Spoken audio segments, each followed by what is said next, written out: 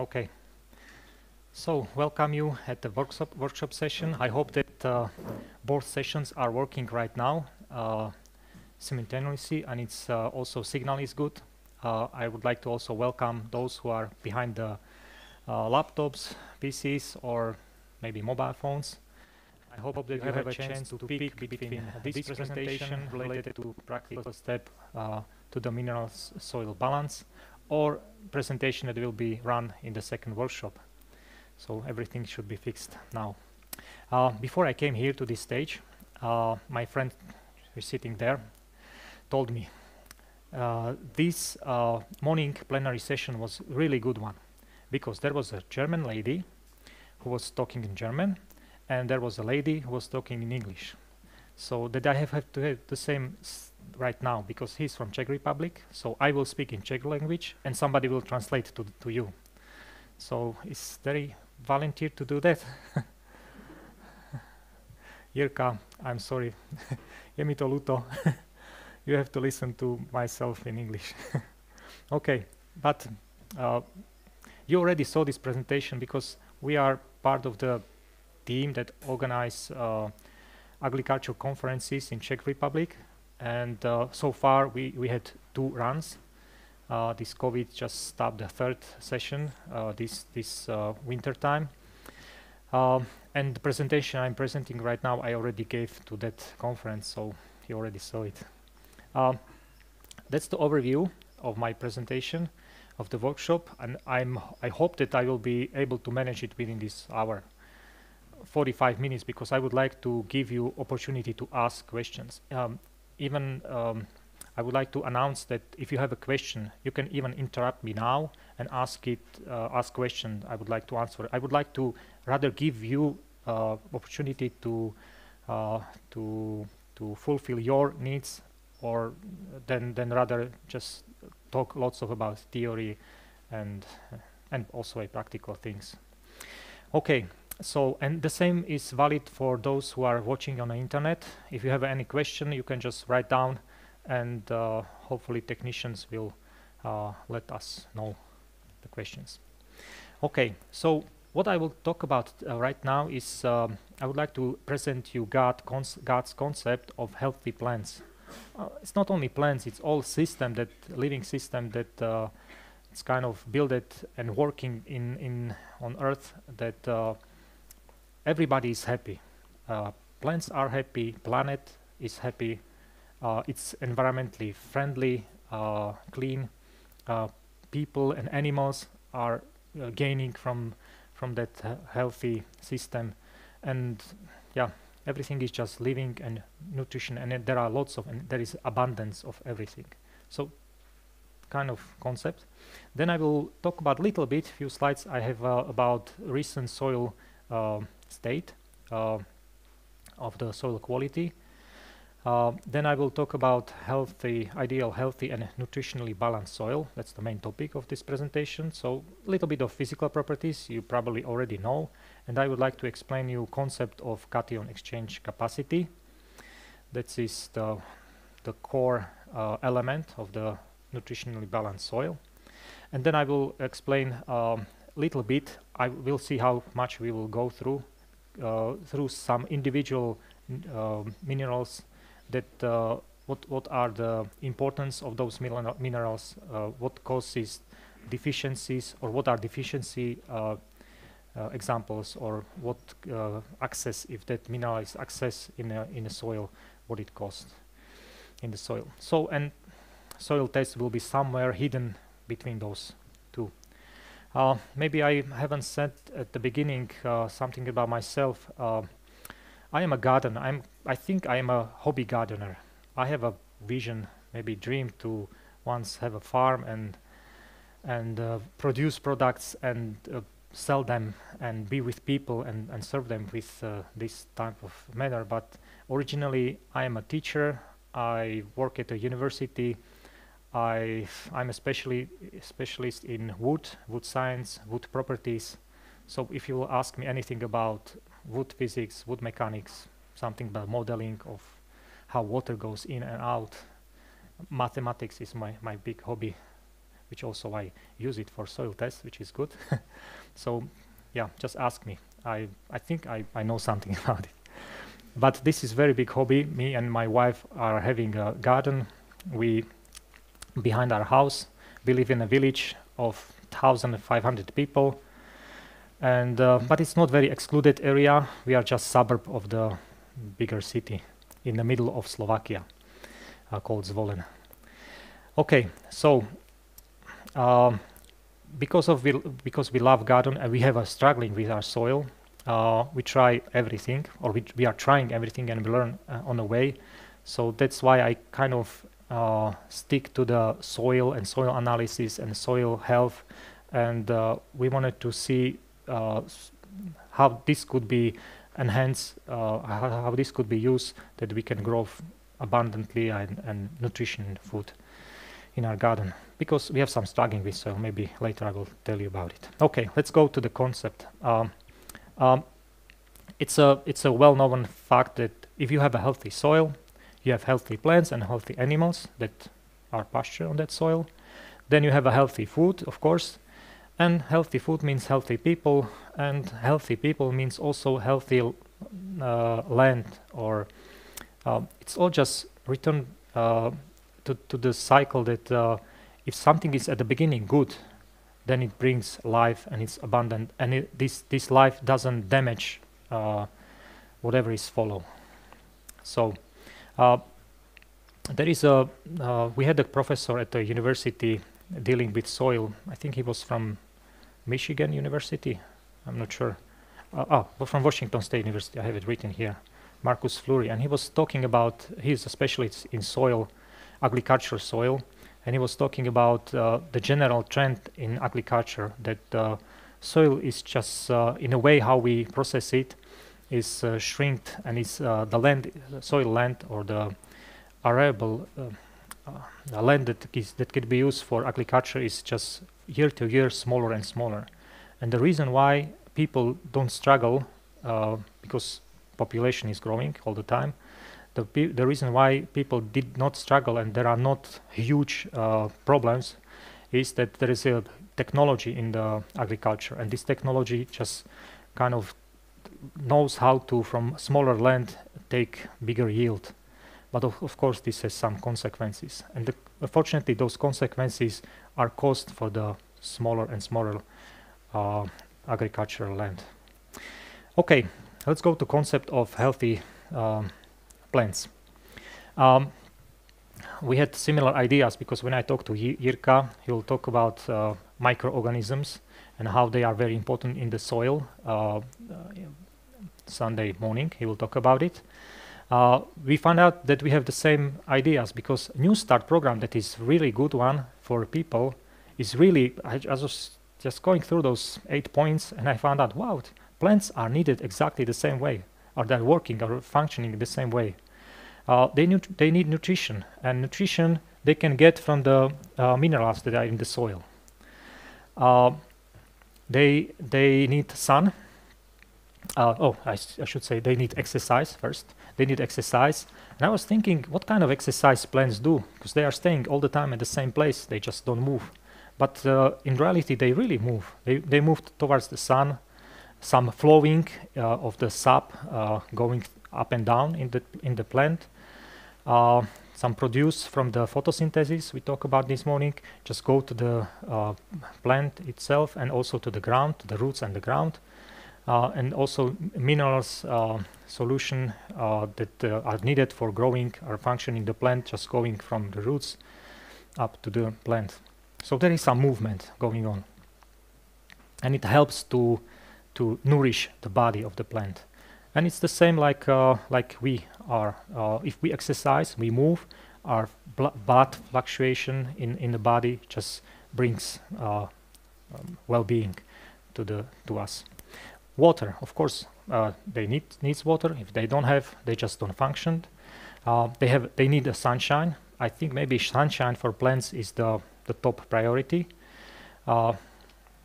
Uh, when they have a sunshine, they can do this photosynthesis and they can uh, produce all this stuff that is related to uh, life for the plant and also for the for the microorganism. They support biology with that. Um, then they need uh, temperance, and we will talk about that some accesses. You know, when you have a when you have access of something, it, it doesn't. Uh, it's not well for for for even for people. You know, if they have a, I don't know if they like sugar. Sugar is sometimes good, but uh, if they over uh, doses are with if they are overdose with sugar or overdose with uh, salt, for example, it's access, and this access has effect on on the life. So we need to keep it balanced. You know, to have a temperance uh, in overeating, not using uh, bad stuff, which is not needed for us people, and also there are also ingredients that plants really doesn't need it. Um, uh, air, they need air, of course, and, it, and, it's not only air for photosynthesis that there is a CO2 in the air, but they also need to breathe down in the ground uh, through the soil. So soil needs to breathe. Uh, uh, the CO2 needs to go inside the soil and also it needs to go out. So there, there needs to be movement. They need rest, of course, every night. Uh, even land needs to rest, we know it, uh, which refresh uh, lots of biology in the soil. And everything needs to be, everything is bound by trust in God. So without God, there will be really nothing. He's a creator who did it. Okay, there is a there is a health pyramid for plants. I bought it from bought it. I borrow it. I take it from uh, John Kempf, and he he he he's an Amish uh, farmer, agriculturist, and he runs a company that helps uh, like ad advisory company that that helps uh, many uh, farms to transition from uh, st standard um, agriculture, conventional agriculture to kind of reg regenerative, which is regenerative agriculture, which helps, it goes in the flow uh, of the concept that is given by God on the earth. So he, he built up this uh, plant pyramid, and uh, that, that pyramid is saying that plants have uh, their own immunity, and it's built on something. Uh, it has four stages, and the, the biggest one, or the, the bottom one, the most important is photosynthesis. So once plants have full photosynthesis, full means if you have a land, uh, conventional uh, agricultural land, and you plant, for example, corn or soybeans or uh, some other stuff, uh, the, photo the photosynthesis is process that is uh, measured. It could be measured by, by tools, a little bit expensive, but it is measurable thing. we know how to we know how to how leaves are how um, how the photosynthesis is running in the plant by measuring uh, breathing of the leaves. And uh, once uh, they measure it on the field, they found out that the capacity of the photosynthesis of plants is roughly on a field at the stage of 10 up to 20 percent of total full capacity. Total full capacity is given by plant if they have everything in right runtime and uh, right uh, stage uh, in a laboratory condition, you know. So imagine God creates plants, but uh, and they create they can create let's say 100% of those sugar and processes uh, from the from, from the photosynthesis. But when we plant it on the field, it, they just running on not even half. They they're running on 10% of capacity or 20% of capacity.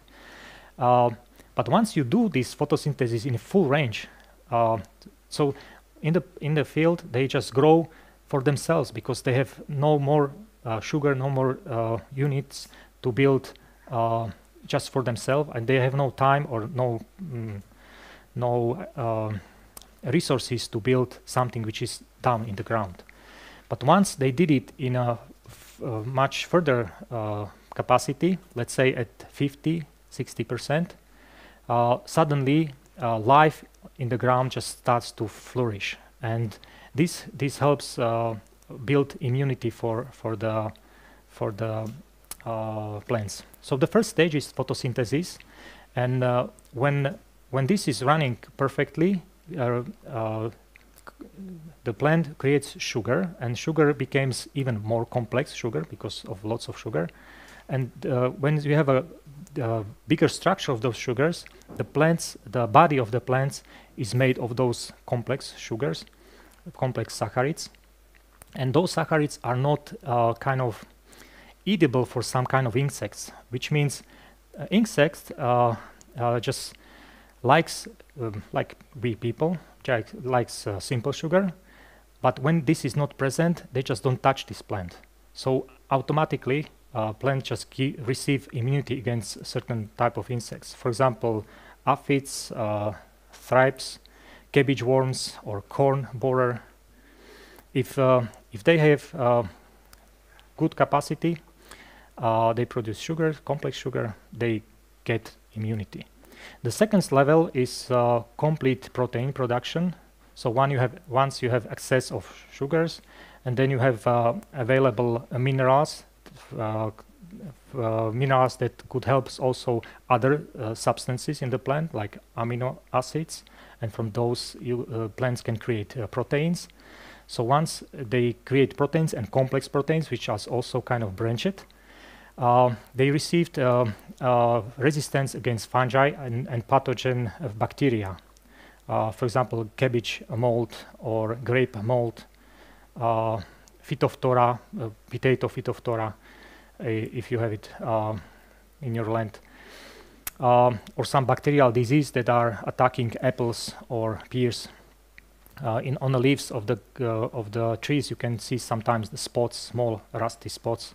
So those are uh, sign that the uh, plant doesn't have a complete uh, protein production. So these two stages are based on the balanced minerals. If you have these balanced minerals in the soil, the plant will strive. And the, the other two stages, uh, increasing uh, lipid production, which is fats in the plants, and later uh, secondary plants metabolites production, are based on the biology in the uh, under the plants. So once you have those, you just create perfect, or God creates perfect plants for, from all this system, and suddenly uh, you have a resistance against bugs, like potato beetles. They just don't attack it. I don't know if you, does anybody from you plants potatoes? Oh, half of the people. That's good. And have you noticed that uh, once you find in a field the weakest uh, potato uh, plant, that usually you find uh, potato bugs at that place. Did you find it? Okay, so it's a perfect method because uh, uh, we don't use insecti insecticides for getting rid of potato beetles. We just wait when they start to lay eggs. And we pick the weakest potato in the field and each time we go to that potato and see if there is, is are, are there any eggs or not. So we don't need to take care of all fields. We just few plants, check the few plants. And once they start to lay eggs, they usually uh, plant them close to that potatoes or on that weak potato, which is perfect way because once you smash it, find those uh, uh, bugs and you are free for at least two, three weeks. But once they spread it, yeah, you know what is it. Just getting harder. Okay, so that's the that's the health pyramid of plants. Um, what's happened in agriculture um, this is a um, um, figure from one of the prestige journal article uh, called Nature. Uh, the authors of this uh, article just uh, know it's a fact that uh, once uh, agriculture is used the land, usually organic metal, matter that is at the stage of 100% after 50 years just drop down in average to half of the range, which means organic matter is uh, kind of sign uh, fertility of the land, how much the biology is going on, how much the uh, how much the water is very well kept in the in the soil. But once we uh, once agriculturists uh, use uh, buried land, the organic matter start to decline very rapidly due to um, uh, tilling the soil, uh, due to practices that are involving agriculture. To get back to, to that stage, and it will take another 50 years, we need to heavy add some manure uh, addition, even through the compost or from, from animal manure. Uh, there are some techniques like succession. If you will, if we leave it land as it is right now at the stage, it will take at least like there is also prognosis or model in this paper that it will at least take 200 years to get back to that original stage of 100% of organic matter that is capable uh, in the soil to carry. Uh, there are some techniques as a reduced tillage, uh, if it's shallow tillage or uh, it could be even deep tillage, but not very often, which doesn't destroy um, functioning of biology in, in the soil. So there are some techniques, but uh, we need to, of course, we need to do something with this. Unfortunately, uh, it has some consequences that uh, vitality and uh, nutrition are just going down. I have some uh, case study, but I will skip them because of the time. Maybe I will stop at the selenium. Selenium is very important for people. Uh, those there, there, were three uh, case study related to minerals that are deficient in the soil, uh, naturally deficient in some areas. The first one, before it was cobalt, responsible for B12 production, uh, iodine, which we usually give uh, get from the soil because soil iodine is put it into the soil, uh, salt, and we eat it from the salt. Um, okay, this can be done also by putting putting this into the soil and uh, yeah but I would like to stop at the selenium. Uh, selenium is a very important uh, mineral and uh, I don't know how it is in Austria or maybe Germany or wherever you are from, Romania. Uh, in Slovakia we have uh, lots of, most of the lands are very lack in selenium. Like there is it's just not enough those, this selenium. And once the selenium is missing in the soil, it just doesn't go to the uh, plants because there is no way to get them. Uh, and this, uh, if you have a lack of selenium, uh, there are some kind of disease that are involved in this. I don't know if you heard of Keshan disease. Keshan is a region in China. It was called because it was also land that was lack in selenium, and uh, the disease was very uh, often present in that region. Uh, it's, uh, it's a cardiomyopathy, which is heart disease that is problem uh, of the functioning heart muscle. selenium is at the same time anti-carcinogenous, um, and it's also antioxidant. consumption should be at least 50 up to 200 milligrams per day per person. Uh, of course, if you eat it more than 300, it's toxic. But consumption in average in Europe is maybe uh, uh below this recommended value. It's 40. In Slovakia, even less, 30, 38. So uh, people just rely on the supplements. But we, for example, know that uh, selenium is very, very good present in a, in a wheat or barley, but needs to be produced on a land that uh, contains selenium. So once you have an opportunity to buy uh, wheat from um, United States or Canada, there are plenty. There is plenty of selenium. Or you just need to have uh, those how they call it Brazil nuts. Eat once, twice a day, and you can fill your your needs. Um, in Finland, they found out this uh, many years ago, and I think it was like in the 70s or 6, uh, 80s uh, uh, last century. Uh, they start to apply uh, selen. I think it was uh, um, ah sodium selenate. I, I, have it here. they they apply sodium selenate into the soil, and it looks like regular um, enrichment of the soil. Once they reach uh, re desired level, they stop to do it. And so right now, you, if you would like to have a good uh, grain from with selenium and from Europe, just buy something in Finland. okay. Um, the last slide, the theoretical one. Uh, because of this production, we lack really nutritions in, in our food that are conventionally uh, made. There was a huge study in published in 2009 uh, at Horticulture Science, very prestigious journal, and they, they were comparing nutritional values of uh, certain crops uh, in United Kingdom, and they compare years 1930 with 1980, and also they did similar study in U United States, and they compare roughly 50 year span also in United States. And results were kind of interesting.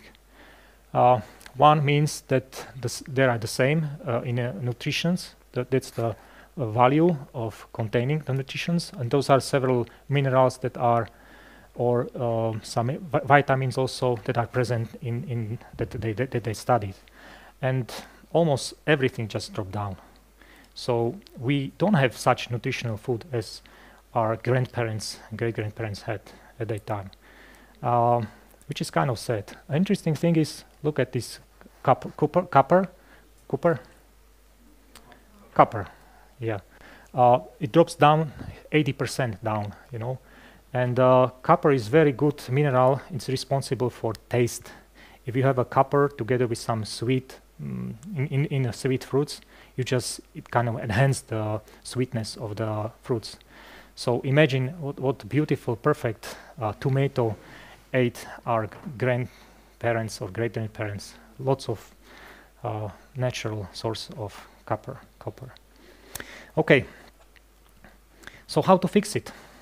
Uh, there are lots of schools. You know, it's like in nutrition. You know, there are lots of ways how to get better health and, and healthy diet. You know, but and each each uh, of the system just try to kind of fix any relation that are on, in this image. They try to, uh, I don't know, uh, uh, provide sufficient sun, sunshine, provide sufficient water, you know, air uh, in, into the ground. All is binded to the plants, uh, biology, striving biology, or balanced mineral soils. Uh, about biology, we will talk about with Jirka presentation on, on Sunday. Jirka, you have it in sun, on, máš to v sobotu, teda v nedelu? Okay, so on Sunday, Sunday morning, we will talk about biology. Um, my presentation is about balanced minerals, but uh, you have to, to uh, you have to think about it in a big perspectives. So if you fix uh, minerals in your soil, this is not like a magic bullet. You have to have everything all around because once you have a perfect uh, minerals in the soil and you don't replant the land, you just have nothing, you know. So if you don't have enough uh, water, uh, if you if you have perfect balanced minerals, you just don't get the crop. It's a it's all system. So if we will talk about balanced minerals, for example, biology and balanced minerals are very very tight together. Uh, for example, you you can have uh, deficiency in soil on some minerals. For example, phosphorus. That's the typical one. Uh, if you have a lack of phosphorus in the soil, you can add some minerals from uh, various sources, even organic sources. But uh, if you let the uh, if you let the biology work do his work, it just takes a little bit more time. But uh, this phosphorus is present in the soil, but it's just not in the form that is available for the plant. But once the biology will strive and be abundant in the soil, it can fix by itself although it could take some time. Yeah, uh, I don't know. If it is two years, five years. Mm. According to John Kempf, this uh, Amish uh, uh, uh agriculturist, uh, he was saying that in average to to re-establish the balance, that plants just providing lots of out outgoing um, exudates that uh, provides uh, abundance of life under the ground that you don't need to add any additional minerals. If you would set everything right you can achieve this mineral in average in four to three four three four maybe five years. Once he said that it happens within one year but it was very good land. So yeah um, uh, it is possible. So we can wait for biology and do it everything right so they will uh, prosper and balance will come or we will fix the balance fix the photosynthesis and biology will also strive on a way of process. So right now i'm just will talk about this nutrient uh, mineral balance. So what is ideal healthy nutritionally balanced soil? What is it? Um, of course soil is consists of certain components. You have a you have a solids which is uh, rocks and uh, sand. Then you have a organic matter, and you have a, a, air, and you have a water. Those four components are consisting. From those components, soil is consisted of. organic matter. This is um, alpha and omega of ideal soil. It, con it contains carbon, and it improves uh, soil structure. We, we went basically this morning devotion through this, so I don't need to repeat it. It also improves um, capacity of the um, touch, uh, gaining minerals in the soil. Feeds biology, microbes, bacteria. So compost is very important thing, uh, thing and it's a sign of good quality. In average, it's 5%, but sandy soil, if they have a 3 4%, it's really good value. Clay soil, 7% is and more is more optimal. Uh, so the rock, those 45%, those are consisting of sand, silt, and clay, and those are the particles that are based on the sizes uh, in the soil. And uh, it's kind of very easy to have a jar test, find out what are the percentage of each component, and from the table or this triangle soil, you can find out what kind of soil you have. It's you can if you if you write an, in a Google uh, soil triangle, you will just end up with many of those versions. But it's kind of precise. Um, what is important is to know that uh, sand has a big structure, but the surface of the sand is not very big one. But once we have a smaller and smaller particles, those particles uh, are having bigger and bigger volume in, in, in, in total. So, for example, in one cubic centimeters of sand, you have roughly 0.25 met uh, square meters, which is square meters. So it's like one quarter of the square meters. No, that's the uh, area of the sand in in one cubic uh, centimeters. But the clay, which is the smallest particles ever, in the soil, uh, they have a very huge area. So in one cubic centimeter, you can have even six square meters area, which is huge. It has advantages, also disadvantages. But when you take a look at the soil, uh, at, the, at, the, clay, clay is not the round particle. Th this is the mi microscopic images of the clay. And those are like uh, small plates that are uh, layered uh, above top, uh, each other. And they, they know that if those layers are kind of damaged by agriculturing processes with many many way those um, those plates are damaged and they are not capable to hold nutrients anymore so imagine that i think this is this is one micrometer so it's one micrometer uh, big which is one thousandth of a millimeter uh, size of uh, of this clay particle and why, why it is important? Each particle has a charge. Uh, it has usually negative, it, it, it has negative charge. A negative charge means that it likes something positive to attach to. Uh, and those positives are so-called cation, cations or minerals that are essential for, for uh, uh, plants. So once you have a soil particle, this soil particle, because of the volume of area, they can attach to themselves by itself, those attraction. They can attract uh, the basic uh, cations such as calcium, magnesium, potassium, hydrogen also is uh, cation plus sodium. So those are like uh, four, let's say five with hydrogen basic cations because they cover almost all entire uh, volume of this inner surface of the soil. And uh, the bigger surface you have, a bigger capacity has the soil to carry those nutrients uh, on, a, on a surface.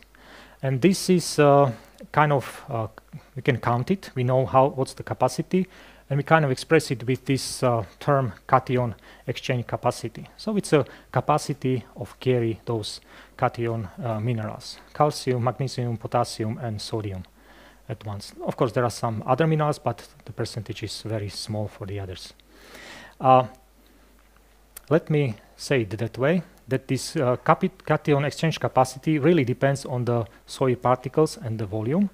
But for example, sand has very low CEC. Uh, clay has bigger, depending on, depending on type of the clay.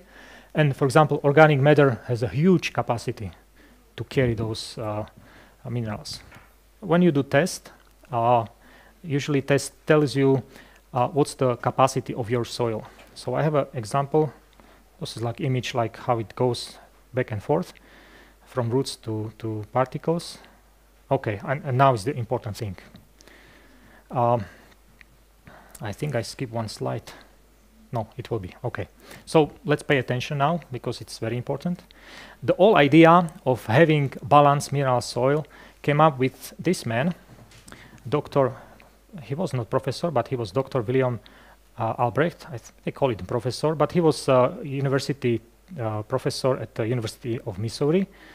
And it's kind of easy to remember his date of birth and date of death for myself because those who remembers the code how to enter to this building it's uh, 18, 1888 uh, and the second number is the date when I was born so for me it's easy to remember um, he, he did tremendous study and uh, he, he just basically put basic or ba base, basic for this cation exchange capacity, capacity idea uh, during his work, uh, professional work, he was comparing how uh, fertile lands affects health of the animals.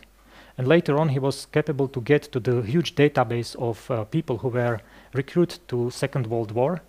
And he was comparing the um, um,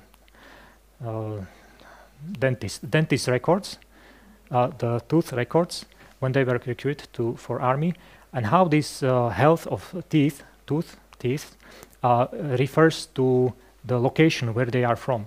At the time, it was normally that uh, people usually eat whatever was local because it was not such a huge transportation as it is now.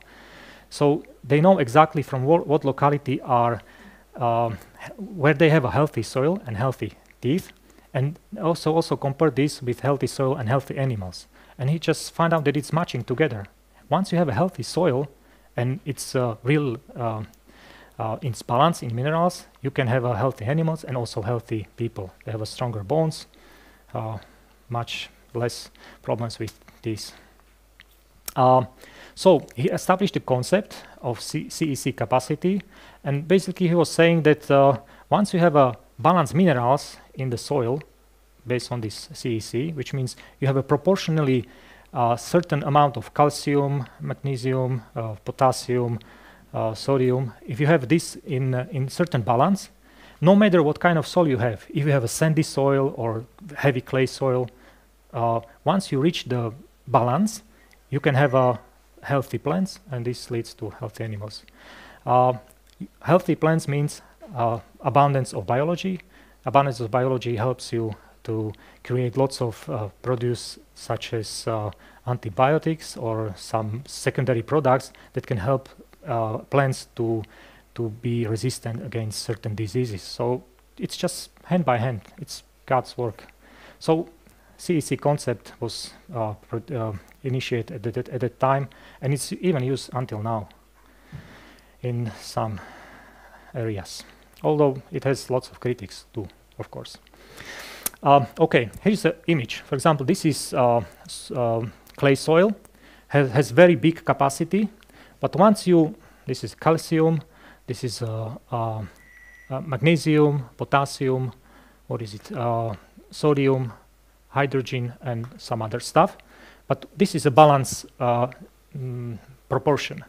So this is a clay soil and this is a sand soil. Lower capacity, but the same proportion means that they will have the same uh, possibility to to produce or to offer plant the the best nutrition as they can strive they can use um, so uh, over years uh, those numbers were settled down and right now we know that if you have any soil uh, 60 to 70 percent of the capacity. It's optimal. Magnesium is somewhere at the range of 10 to 20 potassium 2 to 5 percent. 7 percent I got one analysis. It's good for uh, when you produce potatoes because they are demanding for calcium for potassium. Sodium 0.5 up to 5 percent. Somebody say 3 percent. If you have one it's really sufficient. Hydrogen is good to have a hydrogen which means it's good to have a little bit acid soil at a range of 6.5 up to 6.8 uh, pH so hydrogen is also good because it kind of helps to exchange uh, cations. Um, and there are some other minerals, uh, other minerals like uh, iron, manganese, zinc, copper. those are very small percentage. This is percentage, uh, this is the 5 percentage means it's all together, all those other minerals, cations, are in, in the size of 5 percentage. And there are some kind of uh, relationship that, for example, if you would like to have a iron at the optimal level, it needs to be 50% of phosphor, for example. or if you would like to have a manganese, it should be optimally half of the iron in the soil. Zinc, uh, that's the percentage, 0.5%, copper 0.25%, and so on. Yeah? So this, these are the cations. And there are also some other minerals that are usually attached not to the soil particles, but mostly to the structure of the organic matter. And those, those are like sulfur, uh, phosphorus, uh, nitrogen, of course it has two forms, and uh, CO2 and, and other, other minerals. So uh, that's the ideal. And really, if this is working, if you have a soil in such a manner, you are really blessed. It means that whatever you plant, it just will grow and you will have abundance not only above the ground, but also below the ground. How to find these uh, mineral imbalances? So there are three ways. Uh, one way is to observing symptoms. Once you see that uh, plant missing something, you can exactly know that this is the ca uh, case that I know. For example, if you have a lack of potassium in uh, uh, in, a, in tomatoes, your leaves, edge of the leaves is kind of browny, yellowing. Uh, so then you know you have to add some potassium. Uh, so observing, uh, usually there are some tests, for example, there are tissue tests or leaves tests you just send to the laboratory and they'll, they'll tell you exactly what is in the leaves and what is missing maybe the best methods, but those are for more commercial farmers, uh, is to is, is so-called sap analysis. They just take a sap from the veins of the leaves. They know how to analyze it, and they compare it with uh, um, standards, and they, they tell you uh, three, four weeks before before it appears that something is missing. It, it tells you three weeks before, so you can fix it at the earlier stage of, of uh, deficiencies. Okay. Um, another thing is observing uh, plant soils because sometimes, for example, I don't know, we, we are talking about uh, blueberries because we will have a presentation about blueberries also on Sunday. Um, blueberries likes very right, you know, that they likes acid soil. Um, it doesn't mean that they like it, but uh, they don't have a mm, they don't have a uh, competition in that soil because it's very acid. They just tolerate it. They, they can live in, in that soil. So once you know what is growing in the soil, you can observe that, okay, this uh, and on, on that plant uh, likes something, and you can say, okay, maybe this is lacking or exceeding of something. Uh, the problem of those two methods are that you know what is missing or what is excess, but you don't know how much is needed to fix it, you know, how much you have to edit. So I think right now the best way is just to do soil test. It's, I think it's not very expensive, but yeah, you can try it. Uh, indicators of soil properties. For example, if you have a uh, acid soil, uh, English verse, names are at the last uh, row. So for example, uh, camoline uh, tells you that it's acid soil or fire uh, this is fireweed. or red sorrel. I just find the seeds. Uh, this will probably know uh, oxeye daisies or red clover. It's also typical it's already mentioned yesterday or today. Yesterday it was. So there are some typical plants that are like uh, are very present in acid soil. Um, then uh, those are indicators of alkalic soils for example, alfalfa, this one, um, uh, meadow geranium or creeping, uh, how do you call it, Sin cinquefoil, sage, you, you'll probably know sage. Sage is very good herb. Use it for coughing if you have a problem with coughing. So, uh, sign of alkalic soil. Uh, violet also, very nice blue one, on mus mustard too. So, they like this kind of soil.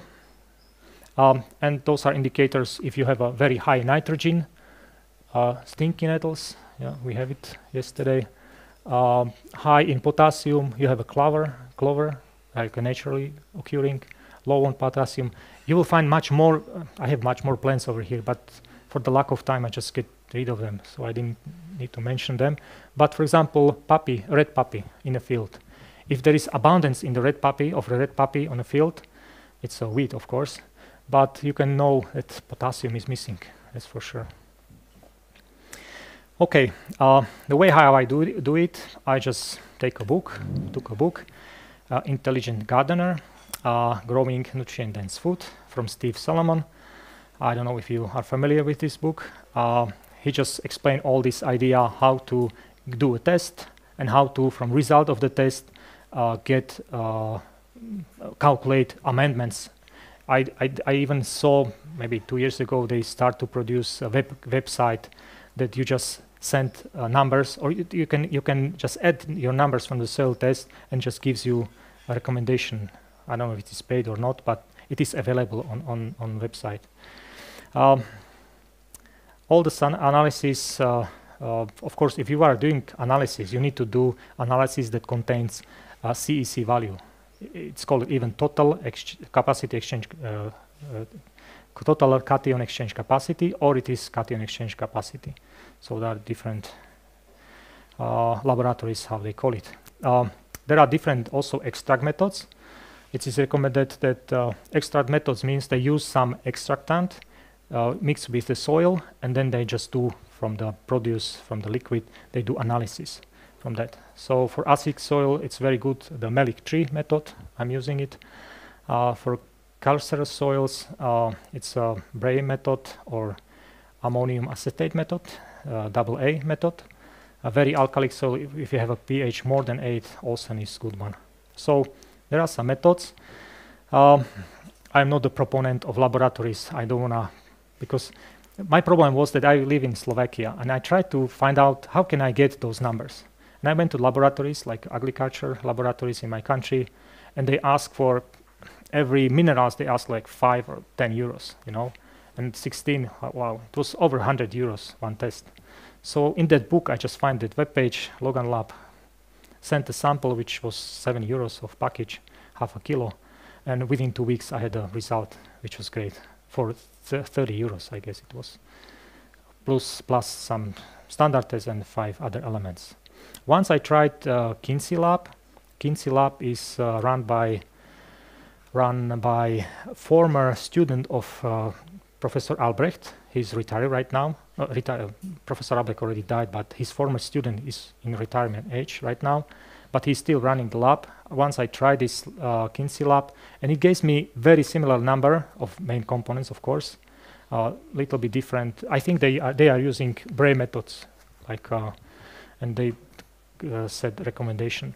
The only problem between those uh, methods, I what I think from my uh, not professional point of view, is that this um, extractant gives you different value of phosphorus, which means that based on the techniques or the methods, you need to know for the phosphorus different values of the optimal range because you every test gives you different values. So that's that's what. But others components I saw very similar between Mehlich tree and Bray as I did. Okay, and how this works? Uh, I just took piece of uh, the report, soil report. So you know what's the what's the total, total exchange capacity. I just rent a field last this summer. Uh, excuse me, this spring I, I rent a field. It was kind of blessing because you just have it for free uh, lady, retired lady, just was not able, and her family was not able to take care of the land, small land, and there was lots of weeds. And I was asking if she would like to rent to me. I said, "Yeah, take it, take it. It's it's we, we just don't have to take care of it because it's kind of shame because everywhere is the weed and neighboring and complaining. So just use it and you can have it for free." So from this spring we have a free small land. I don't know, 300, 300 square meters just for planting potatoes in household. Okay, um, I took a test this year. pH was 7.2. There was organic matter uh, at, at, uh, land, at the size of 4%, which is kind of low for the clay soil that we have. Uh, sulfur was 16. It's kind of low at that stage, but this morning at the breakfast I saw land that was in sulfur like 2, which was really, really critical. I don't, I don't see that person here. Ah, yeah, he said he will have a work in a kitchen today. Okay, so once we have a, a 16 from the result from the test, I recalculated, uh, we can recalculate it to, this is a ppm, it's a part per millions of uh, part per millions. It's one, one uh, promille, I don't know in English. Okay, doesn't matter. When you double it, you get result in kilograms per hectares of that element uh, in a uh, in a 15 centimeters of uh, depth of the soil.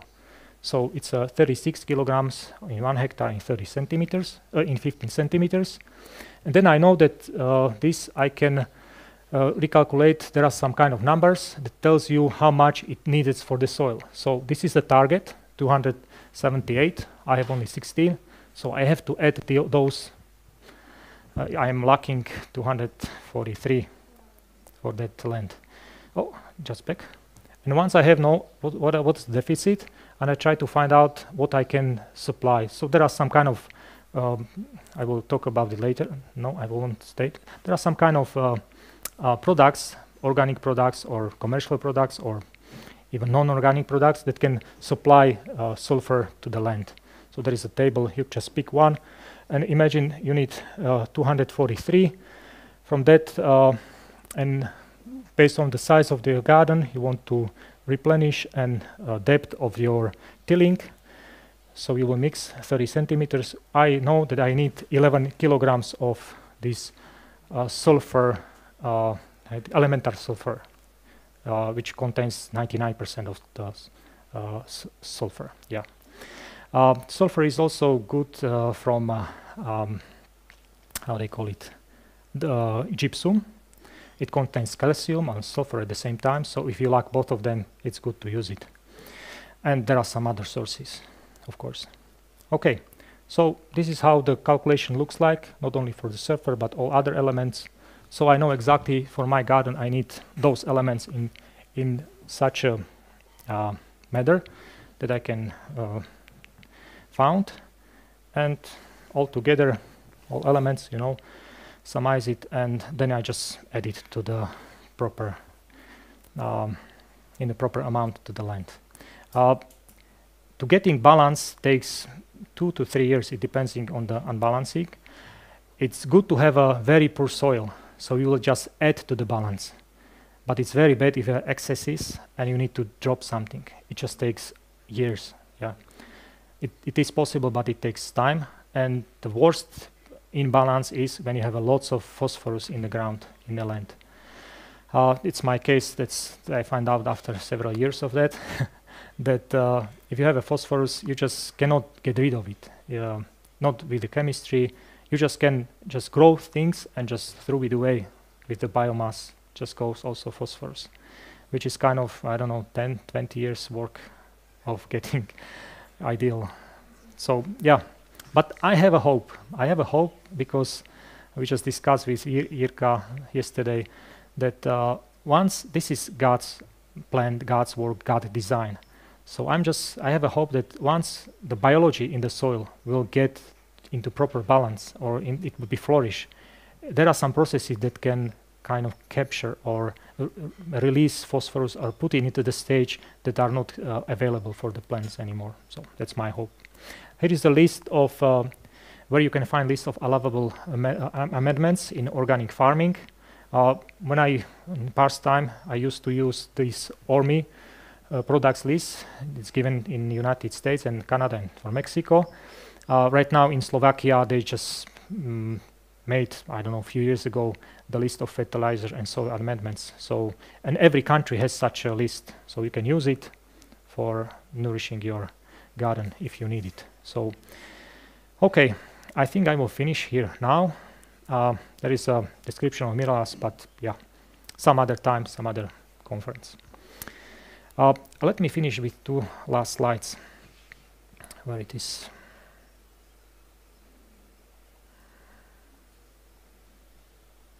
Okay, well, you see, it's another hour. Okay, let's finish it. Uh, there is a quote from Education, uh, page 219. Then they, uh, it's uh, given to young people. So young people learn what science can teach in regards to the nature and preparation of the soil, the value of the different crops and the best methods of the production. Let them put their knowledge to use. So it's good to learn how uh, things works. It, it good, it's, it's good to know the science. It's interesting that, used, that she used it word science. Uh, it's good to know the science behind it, how it works. Uh, uh it's good to know how the different crops are planted, uh, what's at the value and how to make them, the best methods of production. It's really good things to do it, to, to know it, you know. But we need to, even us or young people, if we teach them, we need to let them put this into in their knowledge into the prax into practical things. So they have to use it, this knowledge. So I'm just uh, would like to encourage you that once you learn something, even from that presentation or others or from this weekend, just use it, like put into the practical things, because then you get the blessing of, of the knowledge. But this is the same as, uh, as with God. Once it's not enough, yesterday we heard, it's not enough just to listen and to hear but we need to contemplate, we need to absorb it, we need to live it. So we need to put into the practice, into the use. Okay, so thank you for the attention and I wish you, you will have a abundant in your garden. For example, even when you set up the balance in minerals. Okay, thank you. Uh, yeah, questions, of course.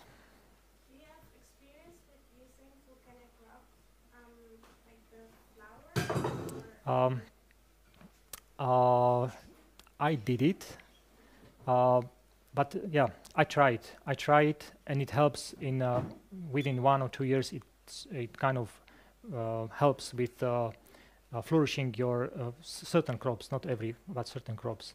The problem of the rocks is that you don't know exactly what is it, and you don't even know if it is because with rocks you can even create excess, and excess is not also a good thing. So yeah, it's a it's a trial and error if you would like to use it. But yeah, sometimes it can help, and especially good that you mentioned. Uh, from the test analysis, you know only 12 elements, the basic one. Uh, there are 100 more, not 100, sorry. the Mendeleev table has, yeah, it's more over 100, yeah but not every uh, every element is needed, of course, in the soil. But uh, once you use those powders, uh, it's good to use them, especially because there are that could be some micro elements that you need it, but you just don't even know if you have it or not. So yeah, it's just trial and error in, in using those. Yeah. Yeah, question.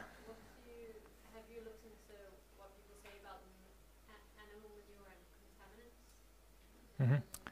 Okay, let me repeat the question for the record. So what, what do what I think about uh, using annual manures and the contaminants in the annual manures? Uh, again, this is question of uh, it could be good because sometimes those contaminants could be good for your soil. For example, I know that they, they are using chicken manure or poultry manure uh, for that reason that uh, they knew that those animals are fed uh, with uh, copper uh, supplements because they, once they don't have a copper, they furs, uh, furs are just uh, kind of they have a skin, yeah, they lose the the, the feather, they lose feathers, yeah. so they, they, they, they, farmers already know that there are lots of coppers in the manure from that animals. And if they are lacking uh, copper, which is most of the cases I saw uh, in Slovakian land, although we have some region that there are lots of uh, copper and it's even at the stage of contamination of the of the land. But those are like uh, mining areas. Yeah, they have. Okay, that's not a question uh, answer.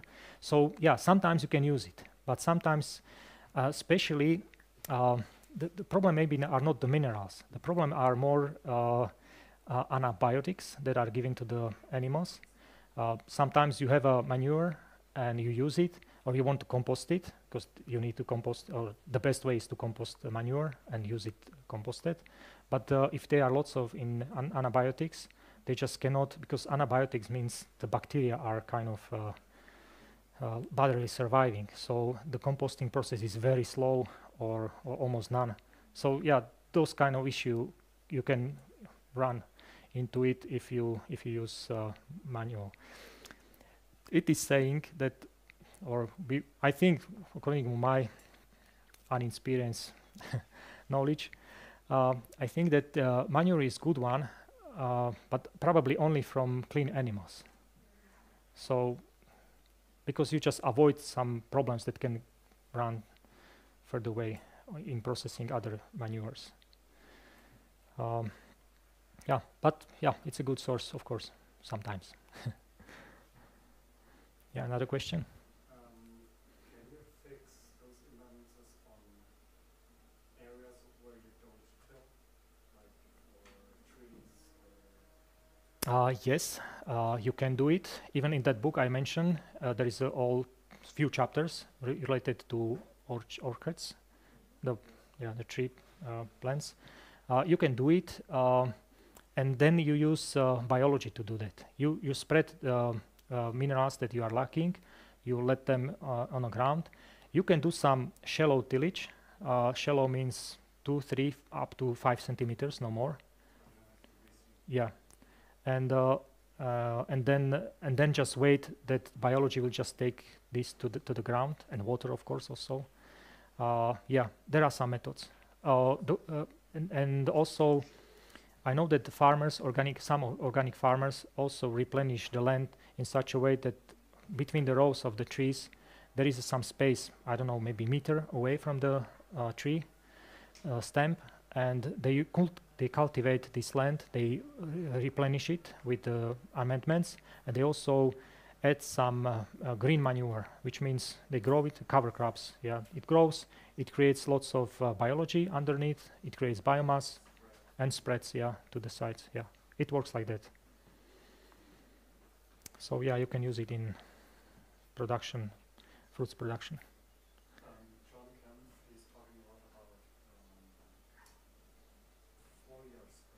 Uh, yes. Uh, I used to do. Yeah, I use those. Uh, I used to use those. I think I will not use it anymore unless it will be very, very needed. I use them for uh, tomato. I grow them in a greenhouse. Um, yeah, the, the way his approach is that uh, in order to enhance this photosynthesis, he tried to do different types of techniques to enhance it. So one way how to get minerals into the uh, plants is also through foliar uh, fertilizers. Um, they they are using specific uh, foliar fertilizers. If, for example, if they lack uh, copper, and uh, it's not the what's the name of the SO COSO3 sulfur, um, copper sulfur. Um, we sometimes it call it blue salt because it's blue. S- uh, copper sulfate. Modra skalica, yeah. we call it modra skalica. Maybe the same. Uh, copper sulfide, yeah. Once it, it could be used for foliar spraying uh, in certain concentration, of course.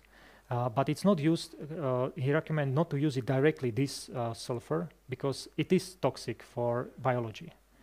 Uh, they, they use so-called chelated copper sulfur, which means uh, chelat is is a that mineral is kind of bounded in a protein of or or some uh, some other compound. Usually it's protein, but it's some compound, other compound that kind of cover this uh, copper molecule of the copper or copper sulfate. And uh, if this is uh, and this is exactly the stage when uh, uh, plants are taking this uh, copper sulfate from the ground. It's a chelate form. Um, you can make a chel. I made a chelate very easily with uh, citric acid and copper sulfate, sulfate together, mixing in a certain way. And uh, but there are some even commercially available chelated uh, minerals. I, I know that uh, uh, copper is chelated, uh, iron could be chelated. Um, I don't know manganese maybe. I don't know. but those microelements could be chelated, not all of them, but yeah, which which is good for environment and for the biology. It's not toxic, directly toxic for the for the biology.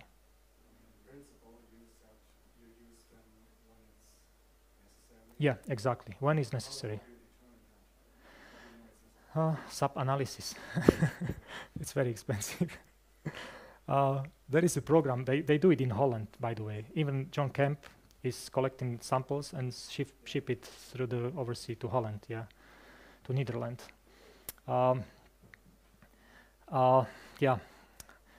The, the best way is really this sap analysis. Uh, they do it like every second week during the season, entire season, but every sample costs like I don't know 60, 70 euros. So every two weeks, 70 euros, it's quite a lot of money. Yeah, but you can do it through observation of the uh, of, of the lacking uh, according to leaves, for example. For example, I found on the internet from university some extension, United States Extension University handouts related to tomatoes and uh, what kind of minerals is missing if leaves is such a way uh, cr- or between veins has some white or yellow uh, stuff. So there is a key, and according to this key, you can find out a little bit late. It's two three weeks later than sap-analysis, but still you can fix it somehow. It's it's it's uh, possible, and the best way is to use it foliar application, but you can also do application into the ground. Yeah. Again, this is human intervention. You need to know exactly what to do and when to do and how to do it. Uh, just don't say, oh, I use this copper sulfate and it helps my tomato, and your neighbor will hear it and will use it for 20 years, and suddenly, wow, copper level goes up. It usually goes up even a vineyard because they use copper sulfate. And I did analysis not not far away, not many months ago, two months ago. Uh, one person bought uh, a vineyard, and copper level was at the level of uh, I think optimum is not the level. The optimum level is maybe 10 ppm, and he had something like 20, which is not bad. But I told him, "Wow, be careful! No copper sulfate anymore, or copper application." So yeah, it could be sometimes. So yeah, you can intervene somehow, uh, and uh, you can help with your plants, but you need to know exactly that you really need it and, and use it. Otherwise, you just need to rely and have a faith that biology will take it. Uh, if you don't have a copper in, a, in the soil, uh, this is also important thing. If you don't have a mineral in the soil according to test, it doesn't mean that it's not there.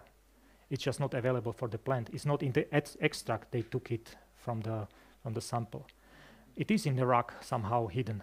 And at that time, you need bacteria, you need fungi. They have some enzyme processes. They can attach to the uh, rock, and they can release that mineral from it and shift it, ship it to, to the plant.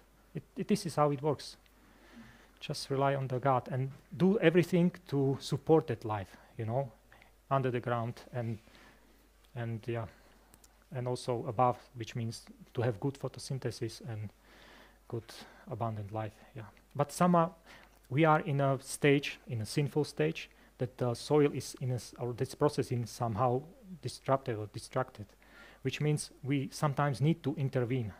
We need to just know how and use it, right, to, to put it back into the balance. And God gave us this wisdom, and once we know it, we can put the knowledge into use. okay, I think we should finish because I am over time, I guess. Uh, any other question? Okay, let's finish with prayer. If you have any question, yeah, you can ask me. Dear Jesus, we are so thankful that you gave us knowledge in these days. Thank you very much that uh, you also give us uh, peace and also uh, give us humbleness against your beautiful, productive, abundant system. We would like to be not uh, user of it or those who are just taking uh, advantage of it, but we would like to be your manager, those who are uh, those who you sign up in a Garden of Eden, that we, we will manage things that you are giving us as a, as a duty. Uh, we would like to ask you for uh, for using this knowledge and also bring us also wisdom because we know that those stuff are sometimes very expensive but uh, we know that you, you gave us lots of wisdom so we can observe and use it so that the products will bring life, bring friendships, fellowships, that uh, this farming and marketing farming or farming with neighbors or sharing goods with neighbors will bring glory to you and will move or prepare souls for your coming. Amen.